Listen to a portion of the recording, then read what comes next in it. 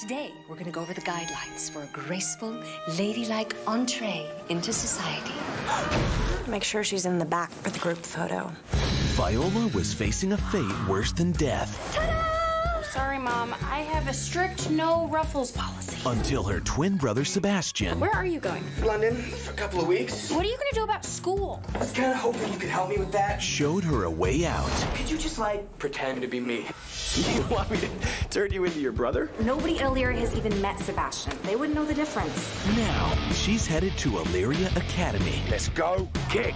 Kill. where the men have game and the women have attitude. Hey there, pretty lady. Ew. Girls with butts like mine do not talk to boys with faces like yours. Uh.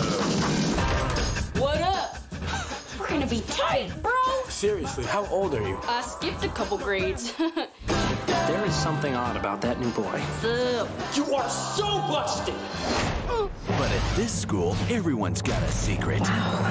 Duke wants Olivia, Do you like cheese? who wants Sebastian, Isn't he cute? How you doing, babe?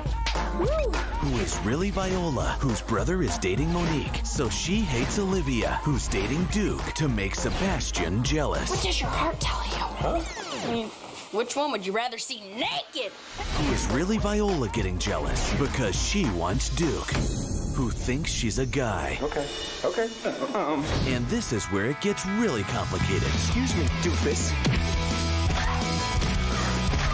Oh boy. Sexual tension, male female dynamics, all part of the high school experience. Love is pain. I hate high school. Is it just me, or does this soccer game have more nudity than most?